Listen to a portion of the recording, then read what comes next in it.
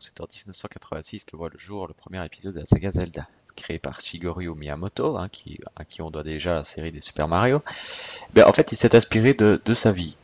parce que quand il était petit, il aimait bien se balader dans des forêts, dans les cavernes. Alors il s'est un peu inspiré de, sa, vie d'enfant pour faire Zelda. Et on en voit la preuve.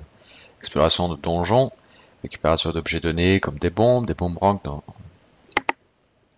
mais ce qui est révolutionnaire hein, pour l'époque, c'est surtout le fait qu'on peut faire le jeu dans n'importe quel ordre.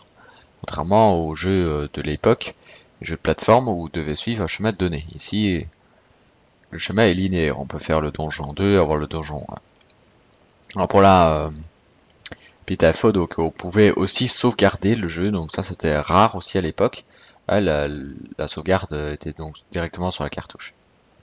Franchement, Legend of Zelda était des, classiques du jeu vidéo et tout le monde se doit d'avoir essayé au moins une fois parce que c'est celui-là qui créa les bases de la série et qui donna naissance à des suites exceptionnelles comme nous allons le voir dans cette vidéo. Donc c'est en 1980.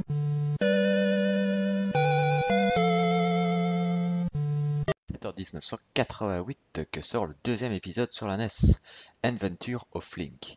Alors, euh, le jeu change totalement de gameplay, ce qui a moins plu aux fans, qui pensaient peut-être à une refonte du premier épisode. Oui, en fait, en vue de dessus. Mais ici, bah, le, jeu perd de son charme et a eu un accueil plutôt mitigé envers les fans de Zelda. Bon, il y a quand même de, moments occultes, comme par exemple ici l'affrontement avec le Link Noir, qui deviendra une récurrent dans la série, notamment dans Force Adventure et dans Ocarina of Time.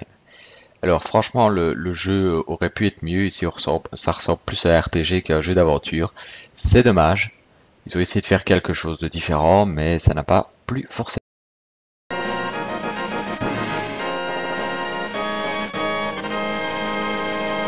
Le troisième épisode sort sur la Super Nintendo en 1992, A Link to the Past.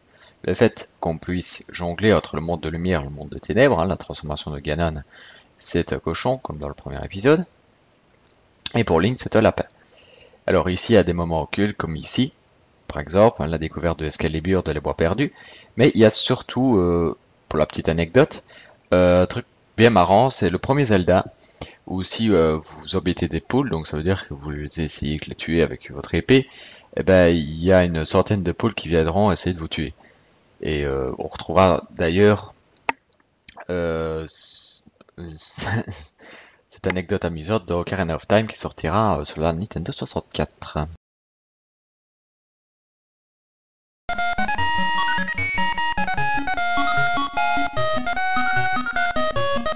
C'est en 1993 que sort sur Game Boy Link's Awakening, considéré par les fans comme euh, dans le top 3 des meilleurs épisodes jamais faits de la saga Zelda.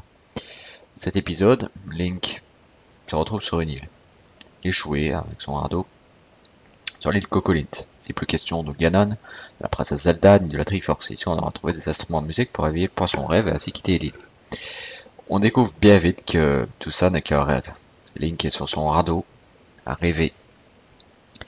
Il voit, on y découvre sa propre vision de la princesse Zelda, une fille très amoureuse de lui, avec qui il passe de très bons moments, toutes sortes de références à l'univers Nintendo, des chompes, des combats, sans oublier Wart de Super Mario Bros 2 ou Monsieur Wright de SimCity. Hein, ou encore euh, ces moustachus avec les costumes marathon laveur qui mangent des champignons dans la forêt. Et le jeu a eu euh, une version DX, donc une version de luxe sur Game Boy Color, donc où le jeu était présenté en couleur comme le montrent ses images.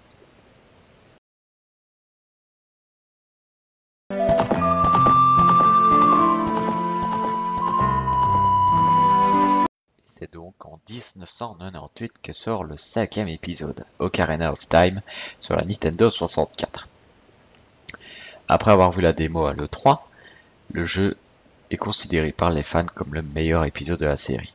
D'autres vous diront que c'est Link's Awakening, ou d'autres vous diront que oh j'ai bien aimé Wind Waker, que nous verrons dans, une prochaine partie. Alors euh, Ocarina of Time, le premier jeu donc Zelda en 3D, qui révolutionne le genre, euh, franchement, c'est bon, pas mon épisode favori, mais on voit vraiment le travail dessus pour un jeu de l'époque, hein, des premiers jeux 3D, parce qu'on a déjà vu euh, que les jeux 3D c'était pas toujours ça. Cet épisode est juste magique. Il y aura donc une suite qui s'appellera Majora's Mask, qui sortira en 2000 sur Nintendo 64 également, euh, qui sera beaucoup plus difficile et qui sera considérée aussi comme la suite de Ocarina of Time. Il y aura donc une version 3DS de, la, de Ocarina of Time, hein, qui est sortie en 2011 pour le 25 ans de la série, si je ne me trompe pas. Et il y a eu aussi un jeu qui s'appelle Master Quest, qui, est une version plus difficile de Ocarina of Time qu'on a pu découvrir avec le jeu Wind Waker sur la GameCube. C'est un jeu bonus. Et donc je vous dis à la prochaine pour la suite de la saga Zelda. Euh, je pense que ce sera le week-end prochain.